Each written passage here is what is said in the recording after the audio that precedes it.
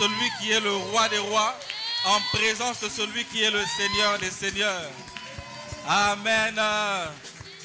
Gloire à Dieu, gloire à Dieu. Nous bénissons le Seigneur pour ce matin. Nous bénissons le Seigneur pour ce culte d'action de grâce. Action de grâce parce que Dieu a agi dans nos vies et nous ne voulons pas être, nous voulons pas être ingrats, nous voulons être reconnaissants et nous venons avec une attitude de cœur une attitude de cœur qui dit merci à Dieu, qui dit merci à Dieu pour tous ses bienfaits, tout ce qu'il a accompli au milieu de nous. Amen. Est-ce que quelqu'un a une attitude d'action de grâce ce matin? Est-ce que tu peux encore acclamer pour la gloire de Dieu? Gloire à Dieu, gloire à Dieu. Je bénis le Seigneur pour ce dimanche matin. Je bénis le Seigneur pour euh, l'opportunité que j'ai d'être là ce matin pour apporter la parole. Je rends grâce à Dieu et je remercie le pasteur pour cette confiance. Je bénis le Seigneur et je demande au Seigneur d'accorder la grâce d'être un intendant fidèle de sa parole. Alléluia.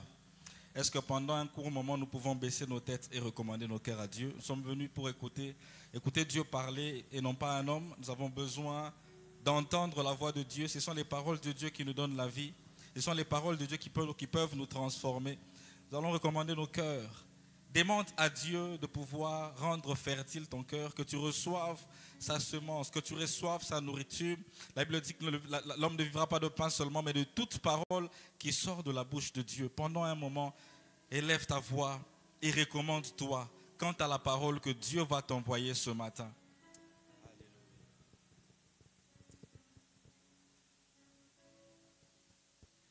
Seigneur, nous te disons merci Merci parce que tu nous as rassemblés ce matin. Merci parce que tu nous as réunis. Et lorsque tu nous réunis, c'est pour un but. Lorsque tu nous réunis, c'est pour une raison. C'est pour un projet que tu es prêt à accomplir. Seigneur, oh Dieu, alors que nous voulons écouter ta parole, nous prions de nous rendre réceptifs, de nous rendre réceptifs à cette parole dans laquelle nous trouvons la vie, de nous rendre réceptifs face à cette parole qui peut nous conduire, qui peut nous changer, qui peut nous transformer. Tu es en train de nous emmener quelque part. Et lorsque tu nous transportes, lorsque tu nous emmènes, tu nous envoies la parole, la parole qui nous oriente, la parole qui nous guide, la parole qui nous conseille, la parole qui nous montre la voie que nous devons suivre, la parole qui nous façonne. Nous avons besoin d'écouter cette parole qui est la vie. Lave-nous par l'eau de la parole. Façonne-nous par ta parole qui est ce marteau qui nous donne la vraie forme, la forme qu'il nous faut pour le lieu où tu nous emmènes. Seigneur, nous recommandons toutes choses entre tes mains. Seigneur, bénis ces moments. Oint ta parole. Accorde-moi d'être un intendant fidèle et Seigneur, oh Dieu, de proclamer ta parole selon que tu l'as décidé. C'est en ton nom, Jésus, que nous avons ainsi prié. Nous disons Amen. Gloire à Dieu. Je vous souhaite la bienvenue ce dimanche matin. Ce dimanche matin, c'est le premier dimanche du mois de mai et nous sommes dans un culte d'action de grâce. J'aimerais que tu souhaites à ton voisin, ta voisine, bon mois de mai. Alléluia.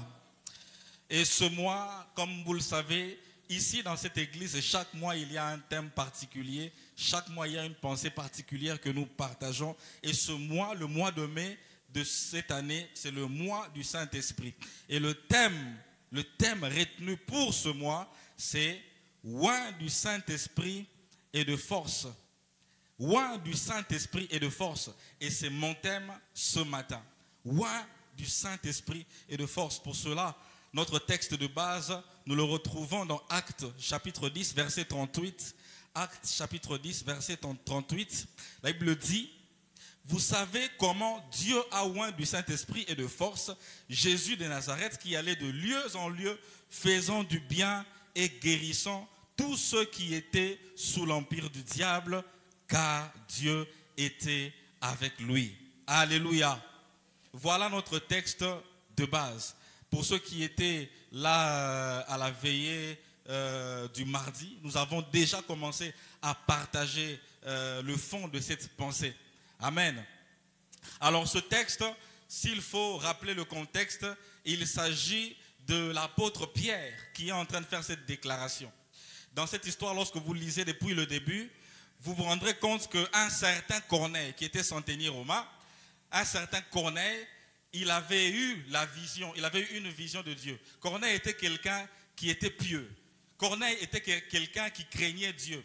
Il avait eu une vision euh, de Dieu euh, où Dieu lui disait qu'il s'était souvenu de tout ce qu'il faisait de bien, qu'il s'était souvenu de ses aumônes, qu'il s'était souvenu de ses dispositions du cœur. Et pour cela, il lui a dit, dans cette vision, d'envoyer des hommes aller rechercher un certain Simon-Pierre. Alléluia. Un certain Simon-Pierre qui habite chez Simon le courroyeur. Et une fois arrivé là-bas, alors qu'il avait envoyé des hommes pour aller chercher, selon la vision qu'il avait reçue, Dieu a donné aussi une vision à l'apôtre Pierre et il lui a, vous connaissez cette image de la nappe qui descendait avec des animaux impurs, etc. Et Dieu, Dieu, Dieu, dit à Pierre dans cette, dans cette vision, prends, mange. Et Pierre lui dit, non, depuis ma jeunesse, je n'ai jamais mangé des aliments impurs. Et Dieu lui dira, n'appelle pas impur, c'est que moi je n'ai pas, que moi j'ai appelé pur. Alors, c'est là que les émissaires de Corneille vont venir et prendre la porte-pierre et l'emmener euh, chez lui, où il avait déjà réuni la famille, il avait déjà réuni les gens. Et pendant que Pierre parlait à Corneille et à toute cette famille qui était rassemblée, c'est là qu'il rappelle en fait ce qu'était la mission de Jésus, en fait ce qui était euh, euh, le parcours de Jésus. Et voilà, c'est cette phrase qui trouve sens. Il dit, vous savez comment Dieu a oint du Saint-Esprit Jésus-Christ de Nazareth qui allait de lieu en lieu, faisant du bien et guérissant tous ceux qui étaient sous l'empire du malin, car Dieu était avec lui. Oint de Saint-Esprit et de force. Ce, matin, nous allons parler de l'onction. Ce matin, nous allons parler du revêtement du Saint-Esprit. En parlant de l'onction, la notion de l'onction commence bien avant dans l'Ancien Testament. Dans l'Ancien Testament, déjà, Dieu avait donné des recommandations à travers Moïse pour qu'il puisse oindre des personnes particulières, pour qu'il puisse oindre des objets particuliers. Lorsqu'il avait parlé à Moïse, on trouve cela dans plusieurs textes, dans Exode par exemple, chapitre 22, vous lisez tous les textes, vous allez voir que il avait même donné, Dieu avait même donné la formule de l'huile qu'il fallait élaborer pour pouvoir oindre la tente d'assignation, pour pouvoir oindre les ustensiles qui devaient servir au service du sacerdoce et pour pouvoir oindre les sacrificateurs qui devaient servir dans la tente. Alléluia. Donc la notion d'onction est déjà dans l'Ancien Testament. Et dans l'Ancien Testament, s'agissant euh, euh, de l'onction, de l'huile d'onction, c'était pour bénir ou pour consacrer une personne à une fonction spécifique. Voilà pourquoi vous verrez que l'on parle de l'onction des sacrificateurs, ceux qui devaient servir dans la tente d'assignation. Dans l'Ancien Testament, on parle de l'onction des rois. Vous vous souvenez que lorsque le peuple d'Israël a voulu se choisir un roi, Dieu a envoyé son prophète, le prophète Samuel, pour pouvoir oindre Saül. Alléluia. Il l'a oint, il l'a établi roi. Même chose pour David. Il a envoyé le, prophète Samuel pour oindre euh, David, pour l'établir comme roi. Déjà, dans l'Ancien Testament, nous voyons qu'il y a un, lien étroit entre l'onction et le service, entre l'onction et la fonction, entre l'onction et le rôle qu'on est appelé à jouer. Mais il y a aussi des cas très rares où des prophètes également ont été consacrés. Le seul cas qui est dans la Bible, c'est le cas du prophète Élisée, qui a été consacré par le prophète Élie, par onction. Voilà. Donc, on comprend déjà que lorsqu'on parle de l'onction, on parle du service. Lorsqu'on parle de l'onction, on parle de la fonction. Lorsqu'on parle de l'onction, on parle du rôle à jouer. Alléluia. Et deuxième chose que l'on remarque, c'est le lien étroit entre l'onction et l'action du Saint-Esprit. Nous remarquons qu'il y a un lien entre l'onction et l'action du Saint-Esprit. Vous verrez que lorsqu'on a oint Saül, Lorsqu'on a oint Saül le roi, quelque temps après, il a été revêtu du Saint-Esprit. Et il a été changé en un autre homme. Même chose pour David. Lorsqu'il a été oint pour devenir roi, il a été revêtu du Saint-Esprit. Amen. Ainsi donc, dans l'Ancien Testament, on parle déjà de l'onction de Dieu qui a un lien avec le service que l'on doit apporter pour Dieu et qui a un lien avec le Saint-Esprit, l'action du Saint-Esprit dans la vie de celui qui est loin. Également dans le Nouveau Testament. Dans le Nouveau Testament, l'onction renvoie à la présence du Saint-Esprit dans la vie, je dirais sur la vie d'un homme. Alléluia. Lorsqu'on parle de l'onction, on parle du Saint-Esprit sur la vie d'un homme. Il y a une petite nuance à faire entre le Saint-Esprit en nous et le Saint-Esprit sur nous. Amen. Lorsqu'on parle du Saint-Esprit en nous, c'est le cas de tout enfant de Dieu qui naît de nouveau. Lorsqu'on naît de nouveau, Jésus vient habiter dans nos cœurs par le Saint-Esprit. Alléluia. Nous avons le Saint-Esprit en tant qu'enfant de Dieu. Et le Saint-Esprit en nous, c'est la personne qui nous rend capable de développer la nature de Dieu. Alléluia. Le Saint-Esprit en toi te façonne pour pouvoir développer la nature de Dieu, ce qu'on appelle le fruit de l'Esprit.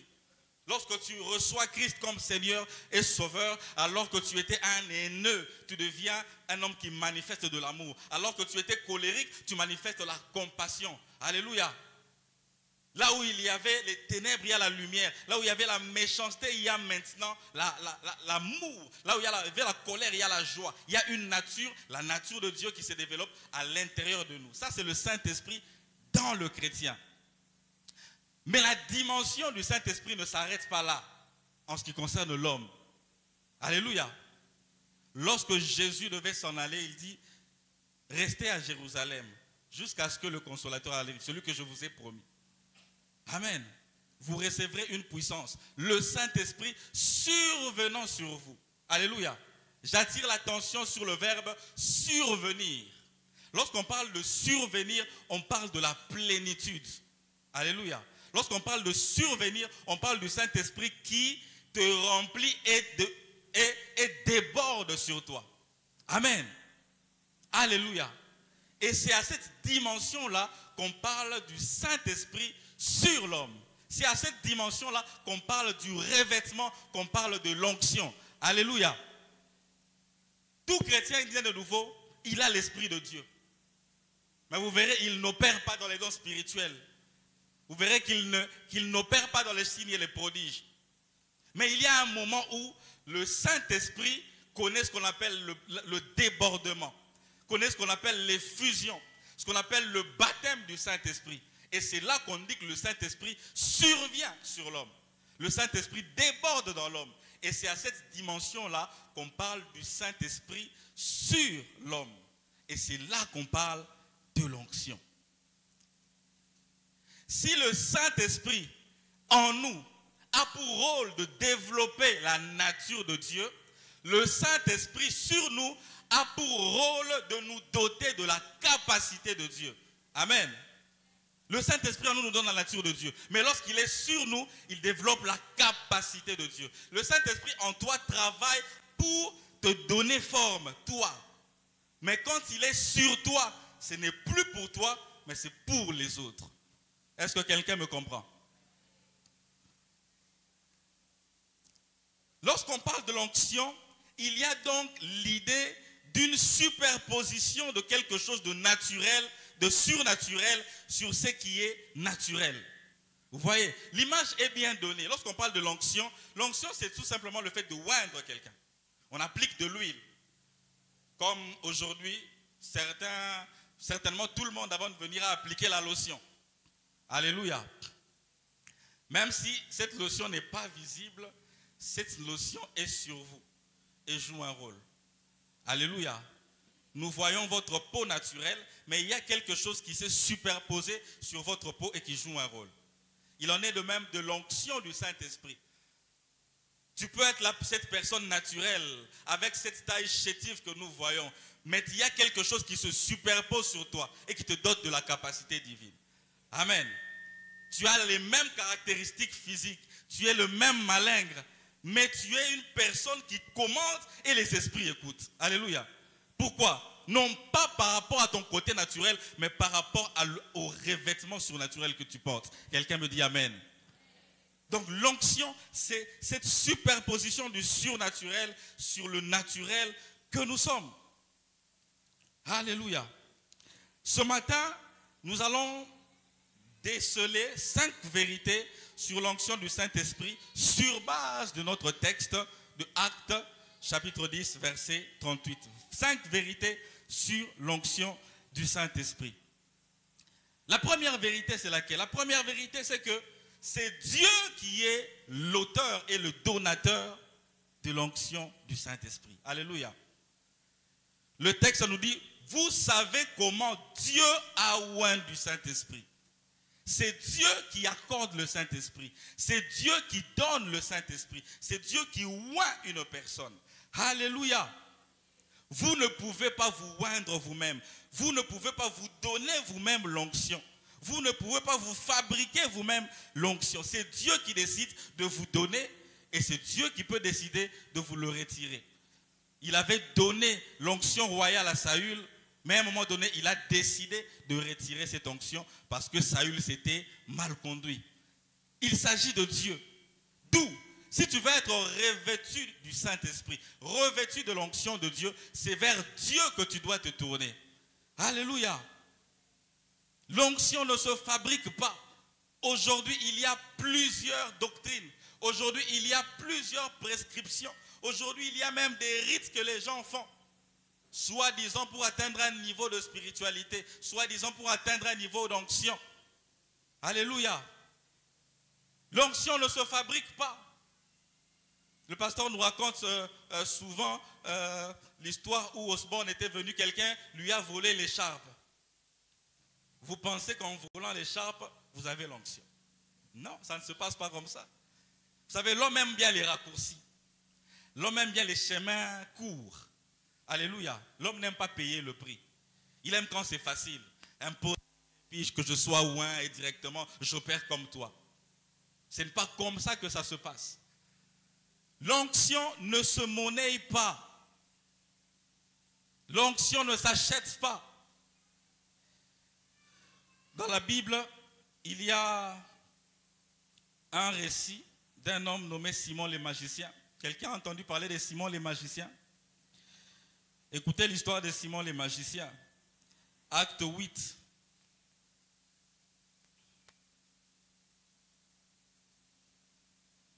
Nous allons partir de 18. Lorsque Simon vit que le Saint-Esprit était donné par l'imposition des mains des apôtres, il leur offrit de l'argent en disant, accordez-moi aussi ce pouvoir afin que celui à qui j'imposerai les mains reçoive le Saint-Esprit. Mais Pierre lui dit, que ton argent périsse avec toi, puisque tu as cru que le don de Dieu s'acquérait à prix d'argent. Il n'y a pour toi ni part, ni lot dans cette affaire, car ton cœur n'est pas droit devant Dieu. Alléluia. Simon le magicien était quelqu'un qui était connu de la contrée. La Bible dit qu'il faisait des prodiges et il se prenait pour quelqu'un d'important, comme il y en a aussi aujourd'hui. Il faisait des miracles, il faisait des prodiges, il se prenait pour quelqu'un d'important. Quand il a vu la puissance de Dieu, il a dit non, je vais faire comme les autres fois. Il a l'habitude d'acheter ses numéros. Il a l'habitude d'acheter ses prodiges, d'aller voir des féticheurs et acquérir des nouvelles, nouveaux pouvoirs. Cette fois-là, il va dire, il va demander à ce que l'on puisse lui vendre la puissance du Saint-Esprit. Alléluia. Vous savez, lorsque je lis cette histoire, ça paraît être très éloigné.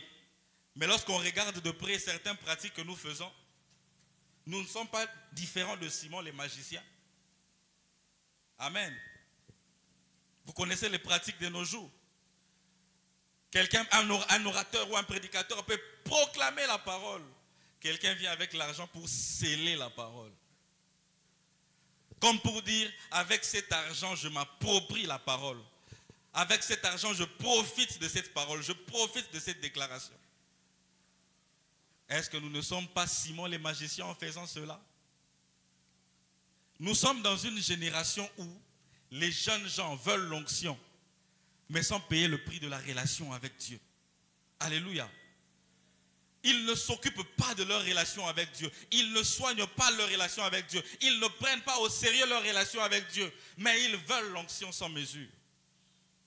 Ils ne s'occupent pas de leur vie de communion, leur vie de prière personnelle, mais ils veulent l'action de faire tomber. Alléluia.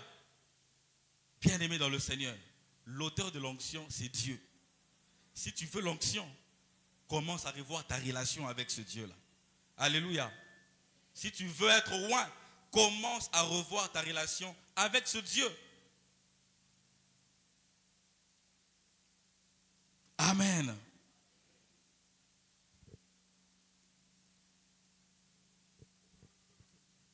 Bien-aimés dans le Seigneur, il faut que nous notions ceci.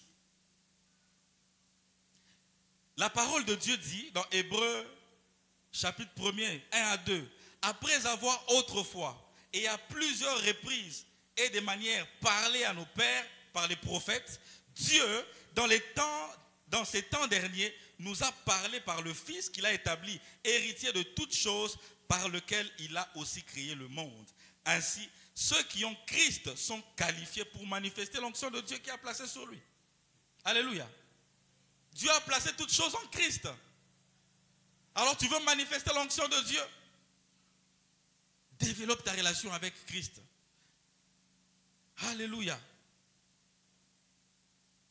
Alléluia. Deuxième, deuxième vérité que nous devons retenir, c'est que L'onction du Saint-Esprit est liée à un but spécifique. Alléluia. L'onction du Saint-Esprit est liée à un but spécifique. On dit d'un homme ou d'un ministère qu'il est loin lorsque ce dernier est doté d'une mission donnée par Dieu, un mandat donné par Dieu, ainsi, que de la puissance nécessaire pour accomplir ce mandat. Alléluia. Lorsqu'on parle de l'onction, on parle d'abord d'une mission. On parle d'abord d'un mandat. Alléluia. L'onction n'est pas pour la décoration. L'onction, c'est pour l'action. L'onction, c'est pour les accomplissements. Il faut qu'il y ait une mission. Il faut qu'il y ait un mandat. Il faut qu'il y ait un but. L'onction n'est pas pour le spectacle, bien-aimé. Toi qui demandes l'onction, quelle est la mission que tu cherches à accomplir? Quel est le but que tu cherches à atteindre? Quel est le mandat que tu dois exécuter? Alléluia. Parce que l'onction, c'est la capacité. Mais la capacité que tu cherches, c'est pour réaliser quoi? Alléluia. Quel est le mandat? Quelle est l'action? Quel est le chemin que tu veux emprunter Pour lequel tu as besoin de l'onction? La Bible dit dans, Luc 4, verset 18 à 19. L'Esprit du Seigneur est sur moi parce qu'il m'a oint pour. Oint pour. Annoncer la bonne nouvelle aux pauvres. M'a envoyé pour guérir ceux qui ont le cœur brisé, pour proclamer euh, aux, captifs la délivrance, aux aveugles le recouvrement de la vie, pour envoyer libre les opprimés, pour publier une année de grâce du Seigneur. Alléluia. Vous voyez, lorsque Jésus parle de l'onction du Saint-Esprit sur lui, il parle des buts explicitement connu. Il parle des mandats qui sont clairs. Alléluia. L'Esprit ne vient pas juste pour le spectacle. L'Esprit du Seigneur m'a pour des objectifs. Alléluia. Voilà pourquoi une manière, une manière de rechercher l'onction, c'est d'entrer dans le mandat de Dieu. Entre dans le travail de Dieu. Entre dans l'œuvre de Dieu. Et c'est là que Dieu te donnera l'onction pour bien accomplir cette œuvre. Alléluia. La Bible dit hein, dans Jean 15 que le, sarment qui porte de fruits, c'est ce sarment-là qu'il émonde. Le sarment qui porte le fruit, c'est le sarment sur lequel il travaille, sur lequel il investit. Si Dieu doit investir sur toi, ça sera pour quel fruit que tu portes? Alléluia. Rassurons-nous. Nous qui recherchons l'onction de Dieu, que nous sommes dans le mandat de Dieu, que nous sommes dans l'œuvre de Dieu, que nous sommes dans le travail de Dieu. Plusieurs personnes ne veulent pas payer le prix d'entrer dans l'œuvre, mais ils veulent l'onction. Ça ne se passe pas comme ça. Alléluia. L'onction de Dieu vient pour les buts de Dieu.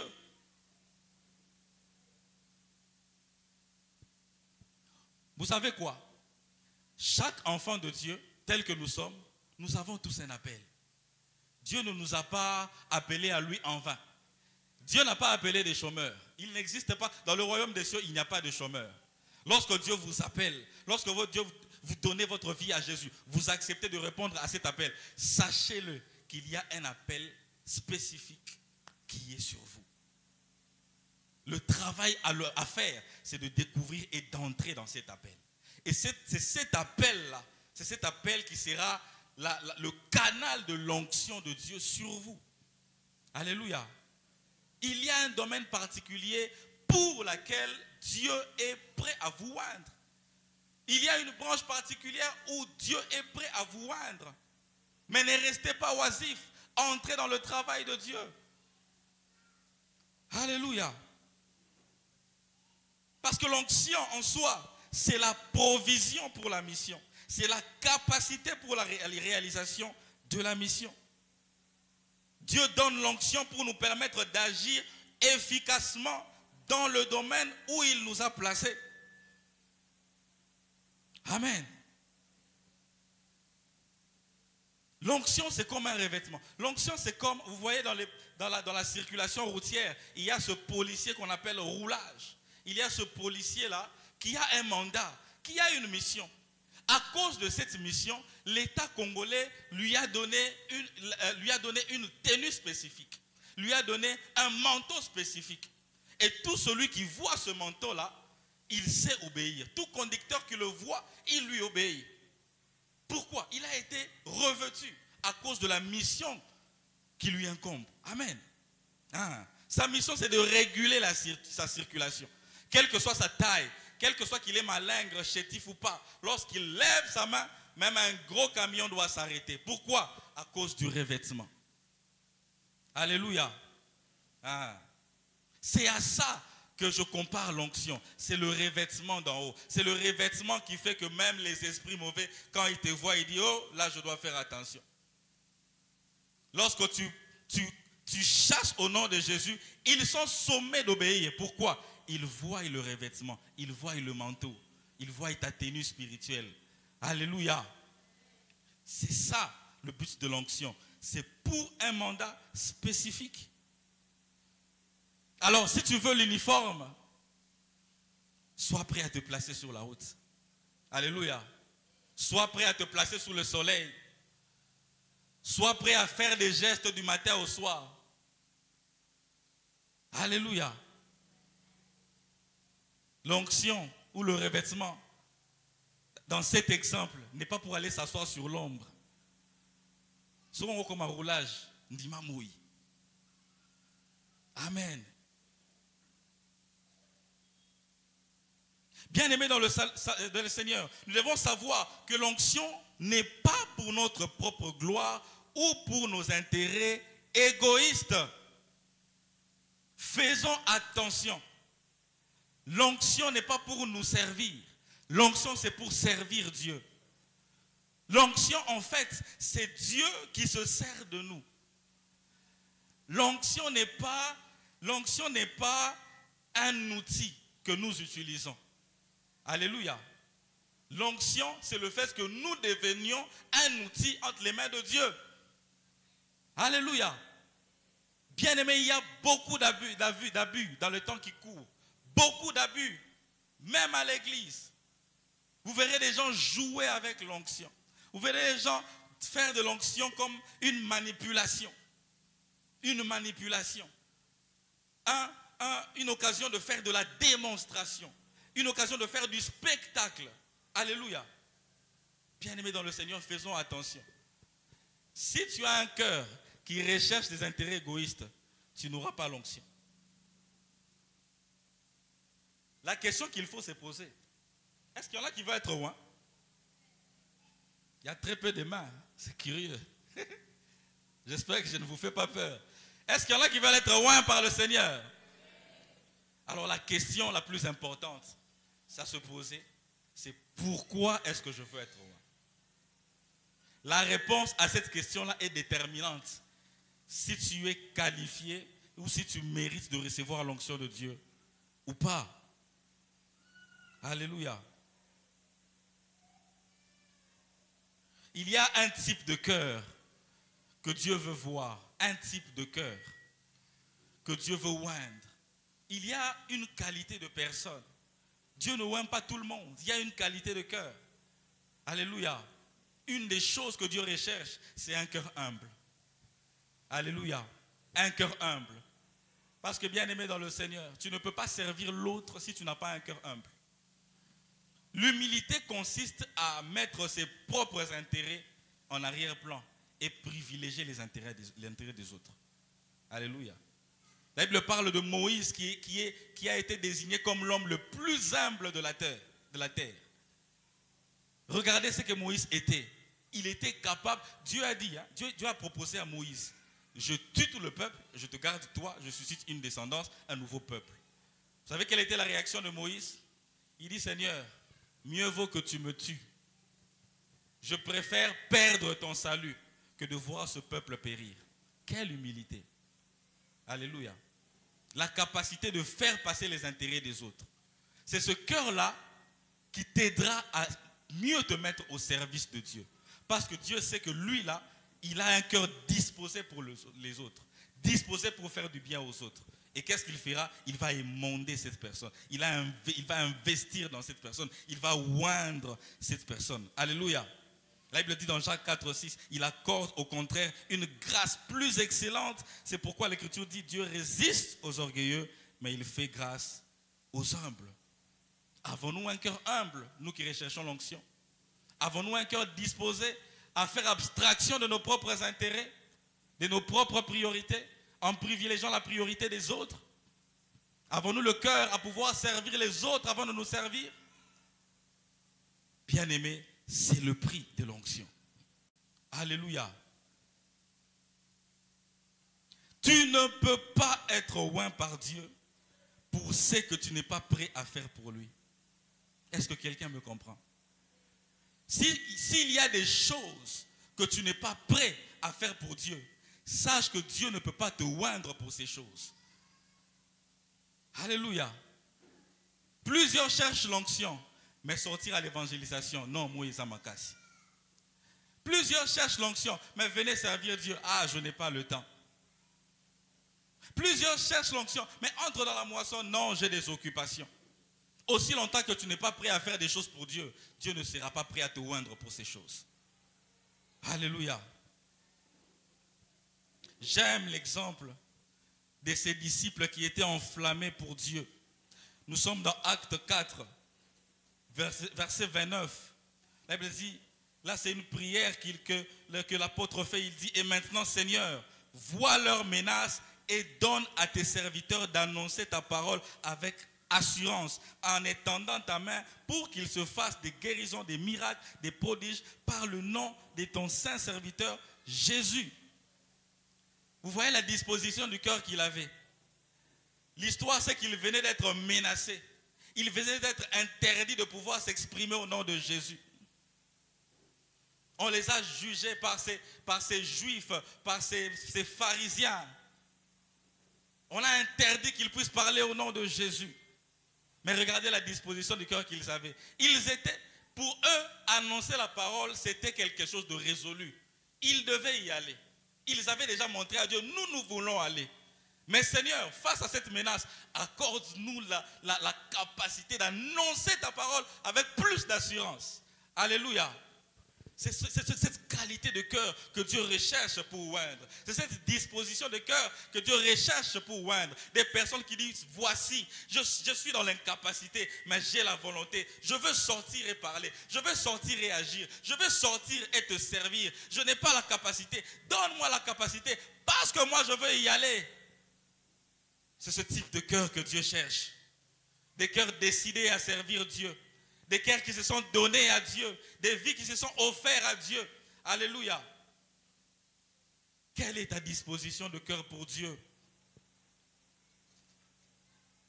Qu'est-ce que tu es prêt à faire pour Dieu, pour que Dieu te oigne Jusqu'où tu es prêt à aller pour Dieu, pour que Dieu te oigne Alléluia. Vous vous rendrez compte que l'onction n'est pas pour ceux qui s'accrochent dans leur zone de confort. Aussi longtemps que tu t'accroches dans ta zone de confort, tu n'expérimenteras pas l'onction de Dieu. Des fois, le miraculeux demandera que tu puisses quitter la barque comme Pierre. Ah. Lorsque Jésus lui a dit, viens, il a quitté la barque. Il a quitté la sécurité, il a quitté le confort, il a quitté ceux qui pouvaient représenter pour lui un confort et un salut. Il a posé le pied sur l'eau. Alléluia. De foi, il en est de même pour l'onction de Dieu. Commence par aller, commence par poser le pas, commence par sortir, commence par... La Bible dit qu'il a oint euh, de, de, Saint-Esprit de force, Jésus-Christ qui allait de, lieu en lieu. Il n'était pas immobile, il n'était pas renfermé, il allait, il était dynamique. Alléluia. C'est à ce prix-là que Dieu nous donne le revêtement, l'onction du Saint-Esprit. Troisième vérité. Troisième vérité, c'est que l'onction du Saint-Esprit est un revêtement de puissance. Amen. C'est un revêtement de puissance. Il s'agit de puissance, il s'agit de force, il s'agit de capacité. Elle dit Dieu a oint du Saint-Esprit, Jésus-Christ, il a oint du Saint-Esprit et de force. Alléluia. Il s'agit de capacité. Il s'agit de, la capacité à réaliser des choses, des, capacités à, à, accomplir des choses que l'on est incapable d'accomplir avec ses propres forces.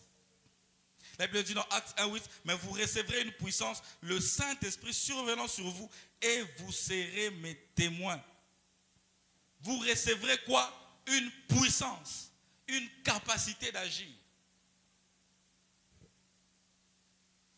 Bien-aimé dans le Seigneur, ce n'est pas en vain que Jésus avait recommandé à ses disciples de rester à Jérusalem. Ce n'est pas en vain que Jésus-Christ avait recommandé à ses disciples d'attendre le Saint-Esprit qui devait venir. Jésus-Christ avait fait l'estimation des enjeux, des défis qui les attendent par rapport au travail qu'il leur a donné. Il a dit non. Avec vos forces, avec vos capacités, vous ne pourriez rien faire. Si vous sortez humainement, vous, serez broyé. Vous serez dans l'incapacité. Alléluia. Hein? Bien aimé dans le Seigneur, être témoin n'est pas simplement question d'aller sortir et parler. Hein. Être témoin, c'est être un producteur de preuves. Nous l'avions dit ici le mois passé. Un témoin, c'est celui qui produit de preuves. Un témoin, c'est celui qui produit des évidences. Alléluia. Quand tu dis que Dieu est grand, il faut prouver que Dieu est grand. Alléluia. Quand tu vas dire de dehors, oh non, mon Dieu est grand, il faut démontrer que ce Dieu-là est grand. Ah, mon Dieu guérit, il faut démontrer que ce Dieu-là guérit. Alléluia. Et c'est dans cet environnement-là qu'il devait sortir. Ils ne pouvaient pas compter sur leur sagesse, il y avait plus sage qu'eux. Ils ne pouvaient pas compter sur leur intelligence. Il y avait des Grecs, des philosophes qui étaient plus intelligents, intelligents qu'eux. Ils ne pouvaient pas compter sur leur éloquence. Il y avait des gens plus éloquents qu'eux. Mais qu'est-ce qu'ils avaient? Qu'est-ce qu'ils pouvaient avoir pour aller accomplir cette mission d'être témoin Jésus leur a dit, attendez, vous allez recevoir la capacité qu'il faut. Avec cette capacité-là, les doutes vont cesser. Avec cette capacité-là, les contestations vont cesser. Alléluia. Vous recevrez une puissance, le Saint-Esprit survenant sur vous. Humainement, c'était impossible. Pourquoi? Bien aimé. La Bible dit dans 1 Jean 5, 19, nous, nous savons que nous sommes de Dieu et que le monde entier est sous la puissance du malin. Alléluia. La Bible dit que le monde dans lequel nous sommes est sous la puissance du malin. Donc il existe une puissance, la puissance du malin. Et face à cette puissance, tu ne peux pas venir bras ballants. Tu ne peux pas venir les mains vides. Il faut avoir quelque chose. Il faut avoir une force. Il faut avoir un contrepoids. Voilà pourquoi Jésus leur a dit, vous recevrez une puissance. Parce qu'en face de vous, il y a une puissance qui opère. Alléluia. La puissance ne se combat que par la puissance. Alléluia. La puissance ne se combat pas par la philosophie. Le monstre dans lequel nous sommes est sous la domination du malin ce n'est pas le français qui va venir à bout de cette puissance-là. Ils avaient besoin de recevoir le revêtement. L'onction du Saint-Esprit est un revêtement de puissance, une force qui nous rend capables d'affronter la puissance qui existe dans ce monde. Alléluia. Le fait que nous voyons les gens dans la dépravation, dans le monde, vivre dans l'alcool, dans la cigarette et, tout ça. C'est vrai, on peut parler d'addiction, on peut parler de problèmes psychologiques. Hein? Quelqu'un est un sociopathe, on va trouver tous les noms qu'il faut. Mais derrière, il y a la puissance du malin. Il y a la puissance du malin. On peut organiser des cures de désintox et tout ça, aller voir les psychologues. Est-ce que le psychologue va, va auditer un démon? Il va auditer un esprit mauvais? Besoin de puissance, besoin de force. Il y a des démons à déloger. Il y a des mauvais esprits à chasser. Il y a des entités à anéantir. Il y a des entités spirituelles à neutraliser. Alléluia. Il y a des choses qui se passent autour de nous. Vous pouvez dire ce que vous voulez, mais c'est l'emprise du diable. Vous voyez dans un quartier, il y a un certain style de vie. Dans, dans tout un quartier, vous voyez les jeunes filles se comportent d'une certaine manière. Les jeunes garçons se comportent d'une certaine manière. Au-delà de tout ce que l'on peut dire, ce sont des entités spirituelles qui contrôlent ces quartiers. Alléluia. Et comment est-ce que toi, tu iras être témoin dans ces quartiers si tu n'es pas revêtu de la puissance? Alléluia. Comment? Comment? Parce que dès que l'adversité va s'élever, tu vas être découragé. Dès que l'adversité va s'élever, tu ne sauras pas quoi faire. Qu'est-ce que tu vas présenter? On te posera la question, pour qui tu te prends? Qui es-tu? Qui crois-tu être? Et c'est là que nous avons besoin de la puissance. Alléluia. Hein, voilà pourquoi Paul disait que je ne suis pas venu vers vous avec une supériorité de langage. Je suis venu avec la puissance, la force. Donc, power. Alléluia. L'onction de Dieu, il s'agit de puissance, la puissance de Dieu. Et la puissance de Dieu vise à atteindre des choses que nous ne pouvons pas faire humainement. Alléluia.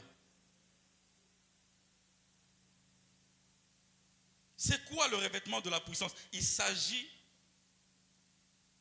de la force qui vient agir par-delà les capacités humaines qui sont limitées. La mission que Dieu nous donne est trop grande pour être accomplie par la capacité humaine. Il faut absolument une puissance d'en haut. Absolument. Toi qui sors dans l'évangélisation, ne va pas t'hasarder à compter sur ton éloquence.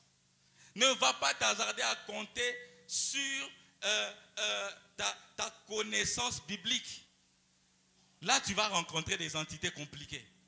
Alléluia. Il y a de ces résistances qui ne s'expliquent pas. Tu viens avec une bonne nouvelle. Une nouvelle qui parle de paix. Une nouvelle qui parle de joie, d'amour, de restauration. Mais on te résiste. On te résiste. Tu viens annoncer la bonne nouvelle. Tu viens annoncer le salut. Tu viens pour leur, bien. Mais on te résiste. Mais qu'est-ce qui résiste? Ce n'est pas eux en soi. C'est une force, une puissance qui est derrière eux. Alléluia. Je me rappelle à Lemba en évangélisation, nous entrons dans une parcelle. Nous allons aborder les gens pour leur prêcher la bonne parole. Nous avons trouvé qu'on avait mis de la musique. Et vous savez quel est le genre de musique qui existe maintenant? Une musique obscène, avec des danses obscènes. Et il y avait des petits enfants qui dansaient des danses obscènes dans cette parcelle-là. Les adultes étaient assis, mais ils ne faisaient rien. C'était du spectacle pour eux. Mais lorsqu'on a juste commencé à prêcher l'évangile, il y a eu de la résistance.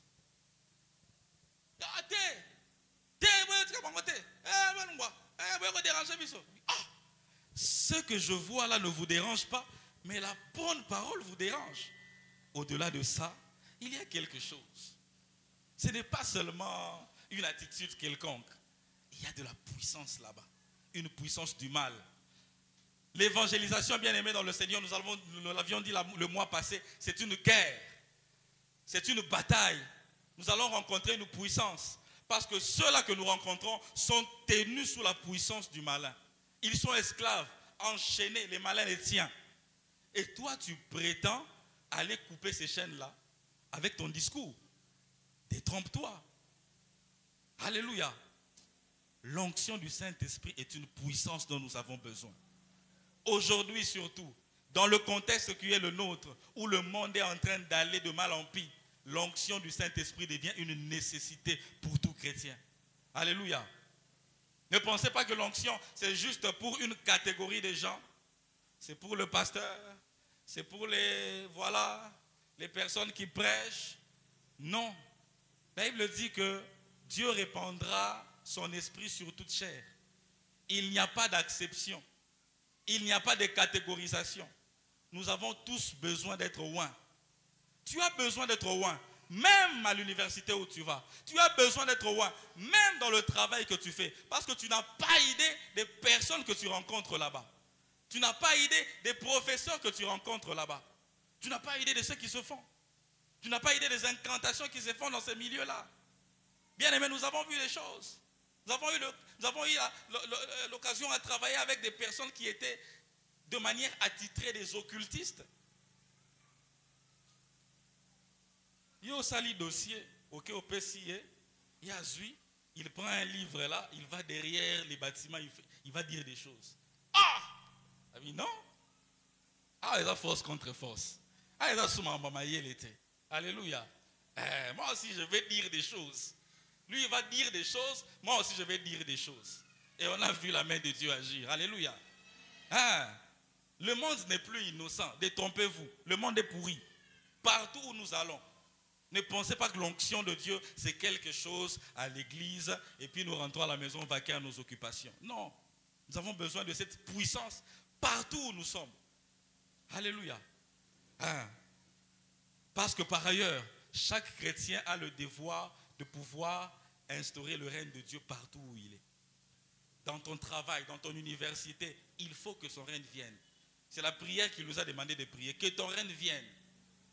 Comment son règne va, va, va venir dans ton environnement, dans ton travail, si tu n'es pas loin de l'onction du Saint-Esprit Alléluia.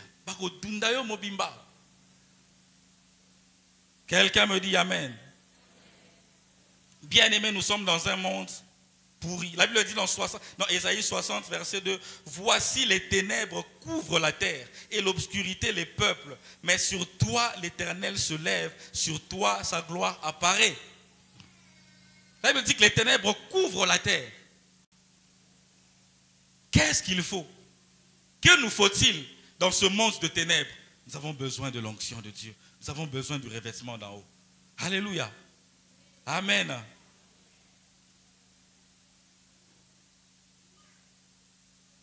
Lorsque nous ouvrons les yeux sur les réalités de ce monde, nous nous rendons compte qu'il est impossible de triompher sans la puissance de Dieu. Nous faisons face à tellement de choses compliquées. Nous faisons face à des maladies inexplicables. Vous voyez quelqu'un qui est malade, on va, dans les, hôpitaux, rien du tout. Nous faisons face à des oppressions maléfiques, des personnes qui ne dorment pas la nuit, des personnes qui sont victimes des cauchemars toutes les nuits ils sont poursuivis, ils sont étranglés. Nous faisons face à la méchanceté. Et la méchanceté gratuite. Pour un rien, on te fait du mal. Toi, tu fais du bien aux gens, mais les gens ne te renvoient que du mal. Alléluia. C'est le genre du monde auquel nous faisons face. La puissance, la méchanceté, la méchanceté, vous savez que c'est une puissance. C'est vraiment une puissance, la méchanceté. Alléluia. Parlant de notre pays aujourd'hui, 30 ans qu'il y a la guerre à l'Est. Ça, c'est la puissance de la méchanceté. 15 millions de morts aujourd'hui, on compte. Vous vous rendez compte? On ne fait que tuer, tuer, tuer. C'est la puissance de la méchanceté. C'est bien, dialogue, voilà, diplomatie, etc. Mais quel est le résultat? Je pense qu'il y a des saisons comme celle-ci où les enfants de Dieu doivent s'élever, loin du Saint-Esprit, et stoppant la guerre par la puissance de Dieu. Alléluia. Je crois que ce moment-là est en train de venir. Où ce n'est pas le temps d'aller acheter les armes ou aller faire des diplomaties, aller voir les présidents euh, des, États-Unis ou de la France, mais se lever avec l'onction de Dieu pour mettre fin à la force, à la puissance de la méchanceté. Alléluia. Il y a des choses inexplicables qui peuvent nous arriver, bien aimés, quand, nous voyons cela, il faut que l'on comprenne que l'onction est une nécessité. Alléluia. Ah, il y a des situations compliquées. Tu es intelligent, tu es, tu es travailleur, mais tu ne t'en sors pas. Tu essaies tout, mais c'est comme si c'est bloqué devant toi. À un moment donné, tu dois te lever. À un moment donné, tu dois, tu dois, tu dois te rendre compte que c'est au niveau spirituel que ça doit se traiter. Alléluia. toi, tu commences des projets. Tes projets n'arrivent jamais à leur fin. Tes projets n'arrivent jamais à leur fin, quels que soient les moyens que tu mets. C'est vrai, on a besoin d'intelligence, on a besoin de stratégie, on a besoin de marketing, mais on a plus encore besoin de l'onction du Saint-Esprit. Alléluia. Ah. J'aimerais juste faire comprendre à quelqu'un que lorsqu'on parle de l'onction du Saint-Esprit, c'est dans tous les domaines de la vie. Tu veux commencer les affaires. Le monde des affaires, c'est un monde compliqué. Le monde des affaires, c'est un monde où il y a beaucoup d'occultisme, où il y a beaucoup de méchanceté où il y a des puissances qui opèrent.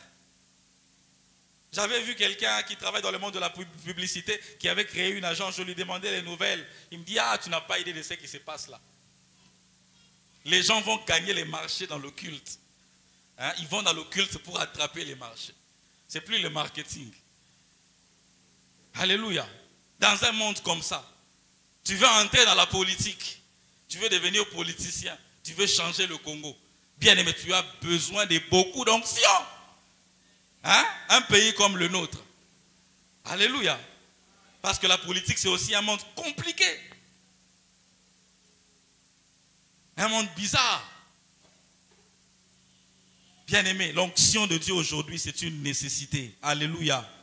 L'environnement qui nous entoure nous fait remarquer que nous ne pouvons pas nous en sortir sans la puissance d'en haut. Notre force ne suffit pas.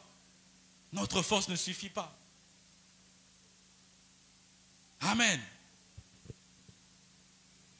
Lorsque l'on, de manière naturelle, lorsqu'on regarde à l'environnement et qu'on veut sortir, on s'habille en fonction de l'environnement que l'on va affronter.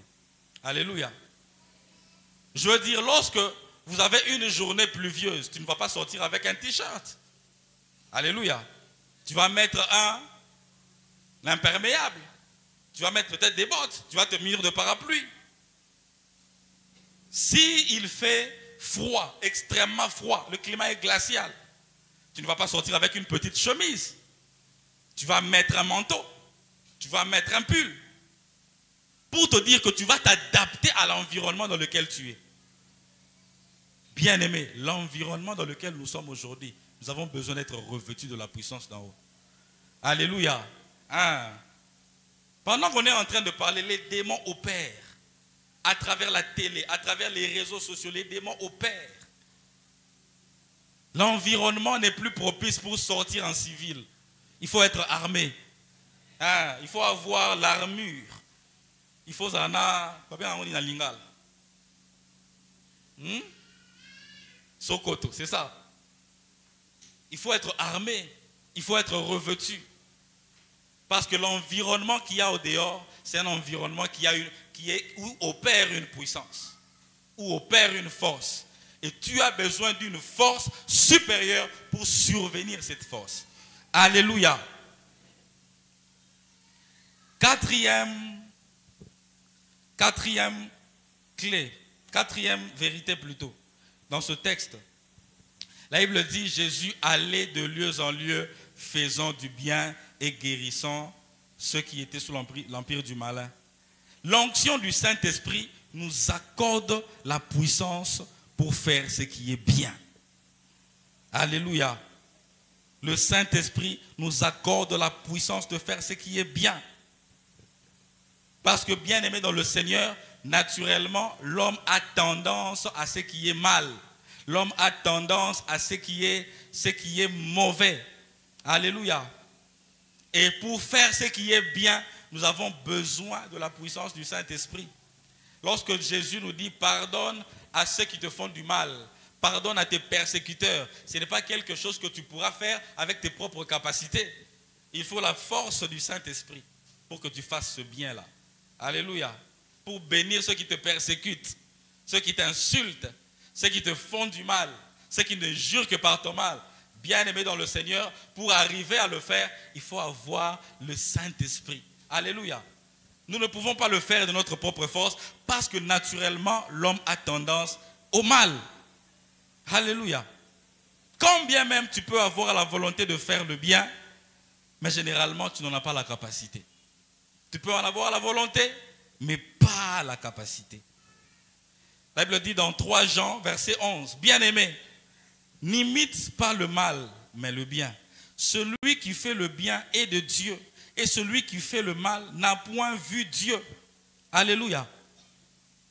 C'est illusoire de demander à ceux qui n'ont pas Dieu de faire ce qui est bien. Ce n'est pas possible. Amen. Cependant, Jésus, Jésus a été connu à cause du bien qu'il faisait partout où il allait. Malgré le mal qu'on lui faisait, malgré les rejets qu'il a connus, il allait faire du bien partout où il allait. Il était connu parce que c'était quelqu'un qui guérissait les paralytiques, qui soulageait les douleurs des gens, qui faisait voir aux aveugles, qui, qui restaurait la santé de ceux qui étaient malades. Alléluia. C'est à cette dimension-là que l'onction doit nous amener. La Bible dit de nous dans Matthieu 5, 14 à 15, la Bible dit de nous, il dit, vous êtes la lumière du monde. Vous êtes une ville située sur une montagne et ne peut être cachée. On n'allume pas une lampe pour la mettre sous le boisseau, mais on le met sur le chandelier et elle éclaire tous ceux qui sont dans la maison. Alléluia. La dit que nous sommes la lumière du monde, un chandelier. Ça signifie que dans ce ténèbre qui est notre environnement, nous, nous devons être la lumière qui resplendit. La Bible dit encore que vous êtes le sel de la terre. Vous êtes une ville située sur une montagne qui ne peut être cachée. Lumière du monde, sel de la terre. Tous ces éléments renvoient à quoi? À la capacité d'influencer. Amen. À la capacité d'influencer. Parce que le sel, lorsqu'il est mis dans un aliment, c'est le sel qui communique la saveur à l'aliment. Pas l'inverse. Alléluia. Hein? Le sel peut saler la viande, mais la viande ne peut pas viander le sel. Alléluia. Hein? Beaucoup d'enfants de Dieu se font viander alors que c'est eux qui devaient saler. Alléluia. C'est toujours un mouvement vers la lumière. La lumière ne fait pas de lutte avec les ténèbres. Vous ne verrez jamais où la lumière est en train de s'approcher et le ténèbre est en train de lutter. Même si elle est petite, lorsque la lumière s'approche, les ténèbres ne peuvent que partir. Alléluia. C'est à cette dimension-là que Dieu nous attend. Que Dieu te donne l'onction et la capacité lorsque tu entres dans un endroit, même s'il y avait les ténèbres, le ténèbre se désempare et prend fuite. Que Dieu te donne la capacité d'influence. Lorsque tu entres dans un milieu, les gens adoptent ton langage, ton style de vie. Ils, adoptent ta vision des choses. Alléluia. C'est à ça que l'onction doit nous amener, d'être la lumière du monde, d'être les sels de la terre, un élément d'influence. Alléluia. On parle de Paul qui, malgré qu'il était dans les chaînes, il était arrêté, mais son arrestation a servi pour qu'il influence toute la garde prétorienne de l'empereur. Alléluia. Que Dieu nous accorde cela au nom de Jésus. Que nous soyons des véritables influenceurs. Je ne parle pas d'influenceurs sur TikTok, ceux qui dansent là sur TikTok. Les vrais influenceurs, c'est la lumière du monde, le sel de la terre que nous sommes. Alléluia. Hein. Beaucoup d'enfants de Dieu, ils vont dans des milieux, ils se font petits, ils adoptent le système de ce milieu-là. gauche. C'est comme ça que le diable t'aura très facilement. Amen. À un moment donné, il faut que les gens s'inspirent de toi.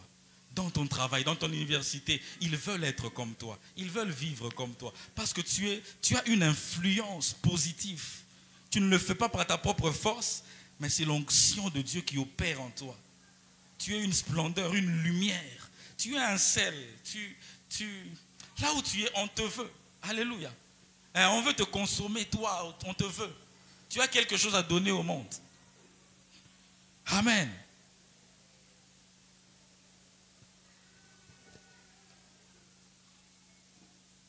Bien-aimé dans le Seigneur, comme je le disais, faire le bien rencontrera toujours la force du mal.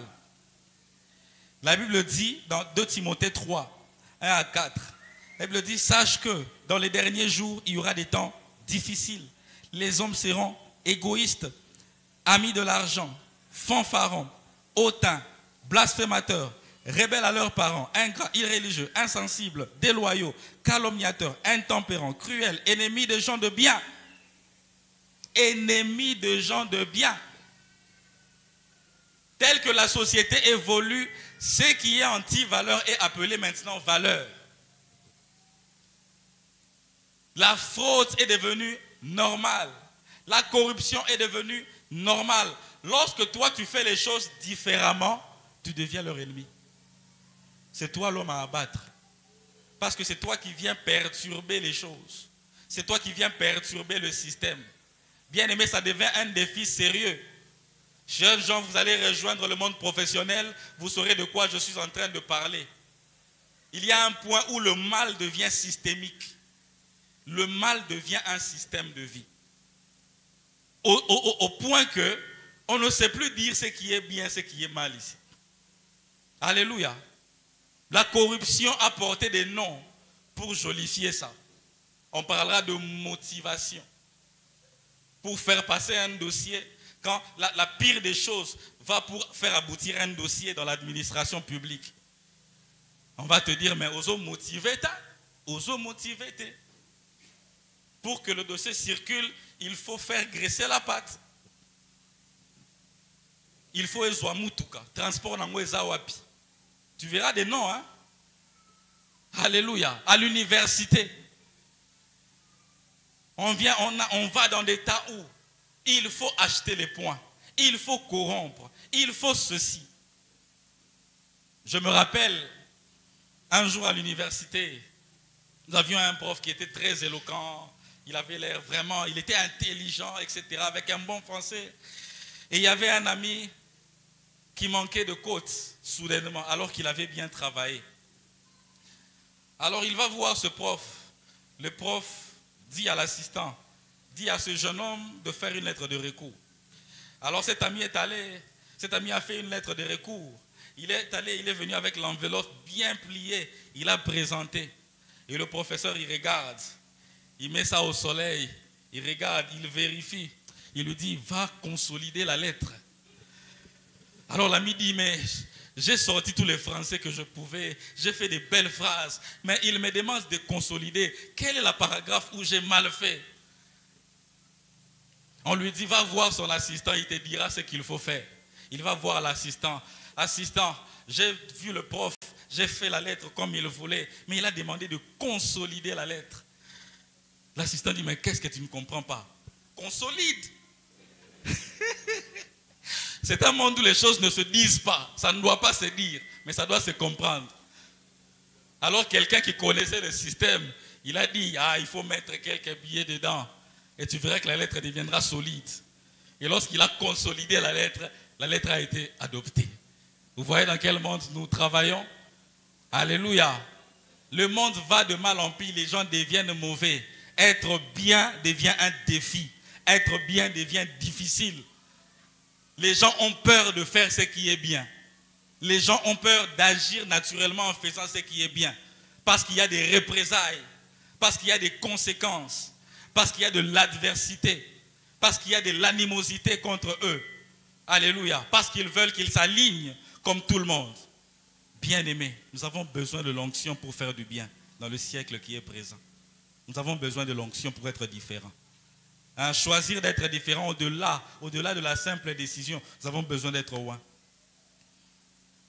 Regardez à Pierre, avant qu'il reçoive le Saint-Esprit. C'était un peureux, hein? Il suffit qu'on dise, mais hein, toi, on t'a vu avec le Christ, hein, n'est-ce pas? Il s'alignait directement. Il s'alignait. Non, moi je suis comme vous, je ne suis pas comme eux. Non, on est ensemble, moi je ne suis, pas, suis pas avec eux. Non, on est ensemble. Alléluia. Mais lorsqu'il a été loin, du Saint-Esprit et de force. Bien-aimé, Batinda qui était, on ne l'a pas poussé, il est sorti lui-même. Cette fois-là, devant 3000 âmes, il a commencé à témoigner publiquement de ce Jésus qu'ils ont crucifié. Alléluia.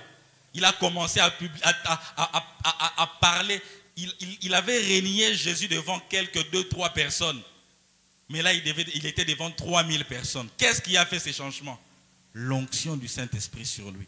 Bien aimé, pour agir et faire ce qui est bien, nous avons besoin d'être loin par le Saint-Esprit. Quelqu'un me dit Amen. Cinquièmement, enfin, cinquièmement, enfin, l'onction du Saint-Esprit, c'est la garantie de la présence de Dieu avec nous. Alléluia. Ce passage dit que Jésus allait de lieu, de lieu en lieu, faisant du bien, guérissant ceux qui étaient sous l'empire du mal, car Dieu était avec lui. Alléluia.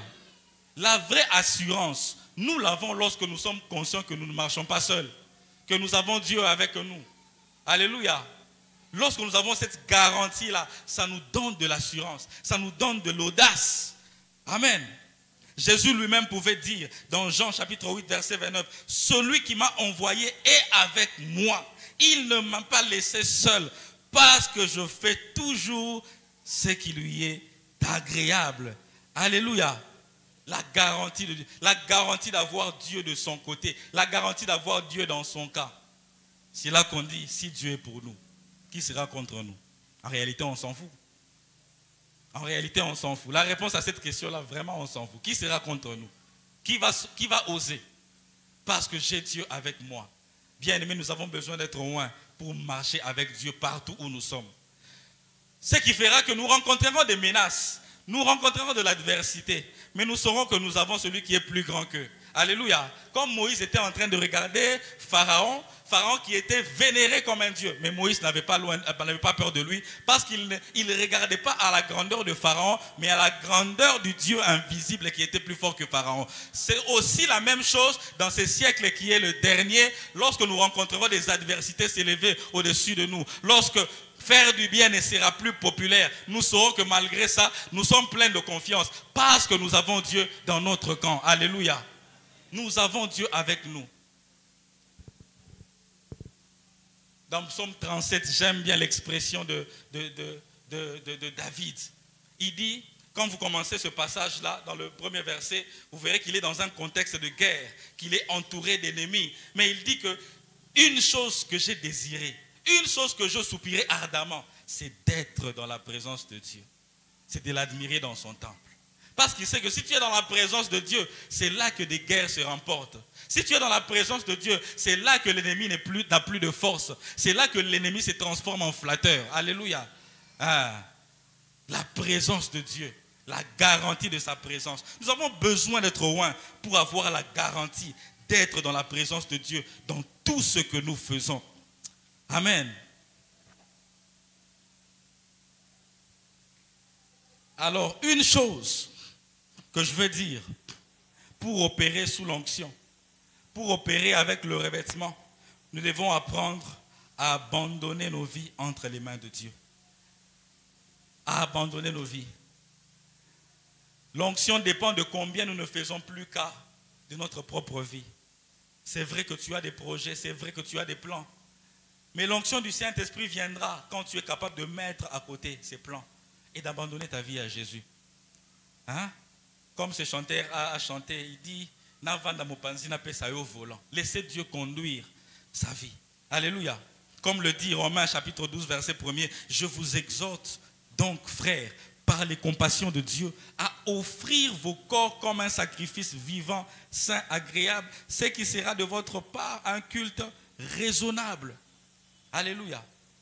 L'onction vient lorsque nous sommes capables de nous offrir à Dieu entièrement, comme un sacrifice.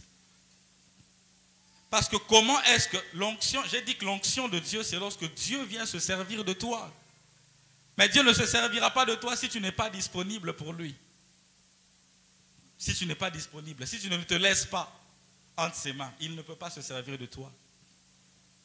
La Bible dit encore dans Romains 6, 13, ne livrez pas vos membres au péché comme des instruments d'iniquité, mais donnez-vous vous-même comme étant vivants des morts que vous étiez et offrez à Dieu vos membres comme des instruments de justice. Je prie Dieu que tu deviennes un instrument de justice entre les mains de Dieu au nom de Jésus. Lorsque Dieu voudra accomplir sa justice, c'est par toi qu'il va passer, c'est toi qu'il va utiliser. S'il a une volonté à accomplir dans ta contrée, il passera par toi parce que tu te seras disposé entre ses mains comme un instrument de justice. Quelqu'un me dit Amen. Paul pouvait dire, j'ai été crucifié avec Christ. Et si je vis, ce n'est plus moi qui vis, c'est Christ qui vit en moi. Si je vis maintenant dans la chair, je, vis dans la foi au Fils de Dieu qui m'a aimé et qui s'est livré lui-même pour moi. Ce n'est plus moi qui vis, mais c'est Christ qui vit en moi. Alléluia. Tu veux l'onction du Saint-Esprit? Tu veux opérer dans le revêtement? Je prie pour que cette phrase soit son partage que ce ne soit pas toi qui vis, mais que ce soit Christ qui vit en toi. Que Dieu vous bénisse. Nous bénissons Dieu. Gloire à Dieu. Nous allons prier le Seigneur. Nous allons prier le Seigneur. Nous allons prier le Seigneur. Nous nous rendons compte comment, combien combien nous avons besoin de l'onction de Dieu. Est-ce que nous pouvons nous tenir debout? Nous nous rendons compte de cet environnement. Cet environnement a besoin que nous ayons un revêtement. C'est très risqué que nous sortions. C'est très risqué que nous vivions sans tenir compte de l'environnement dans lequel nous sommes. Cet environnement requiert que nous soyons revêtus. Le monde au-devant de nous requiert que nous soyons revêtus de la puissance d'en haut. Et ce matin, nous allons prier pour demander l'onction du Saint-Esprit nous allons demander l'onction du Saint-Esprit. La Bible dit qu'il nous promet qu'il nous le donnera. Il nous donnera son esprit. Sans reproche, il nous donnera son esprit. Si nous lui demandons, ouvre ton cœur à Dieu. Ouvre ton cœur à Dieu et commence à lui demander. Ouvre ton cœur à Dieu. Montre-lui combien tu as besoin. Tu as besoin d'être loin. Tu as besoin d'être revêtu. Tu as besoin de soupir. Bien-aimé, montre ta soif à Dieu. Si ce n'est pas ton cas, si pour toi le monde va bien sans l'onction, eh bien ce n'est pas ce n'est pas ta prière, mais pour ceux qui réalisent qu'ils ont besoin de Dieu, qu'ils ont besoin de l'onction de Dieu. Bien aimé, c'est le moment de manifester la soif à Dieu. C'est le moment de montrer combien on soupire après l'onction du Saint-Esprit. C'est de montrer à Dieu combien on a besoin d'être revêtu. On a la bonne disposition d'aller. On a la bonne disposition d'aller des lieux en lieu. On a la bonne disposition de témoigner. Mais on se rend compte qu'on n'a pas la capacité. On se rend compte qu'on est des témoins, mais des témoins sans preuve. Des témoins, mais des témoins sans puissance. Des témoins, mais des témoins sans autorité. Bien aimé, ouvre ton cœur, soupire soupir, après le revêtement d'en haut, soupir après les revêtements d'en haut. Le Dieu que nous servons, le Dieu que nous prions, c'est un Dieu qui exauce. Il est prêt à répandre de son onction en cet instant dans le cœur de tous ceux qui s'ouvrent en lui, tous ceux qui viennent se disposer, se disponibiliser devant lui comme un instrument de justice, comme un sacrifice vivant. Il est prêt à remplir, il est prêt à remplir à ceux qui ont soif. Il est prêt à remplir ceux qui ont soif. Est-ce que tu as soif alors que ce Dieu te remplisse?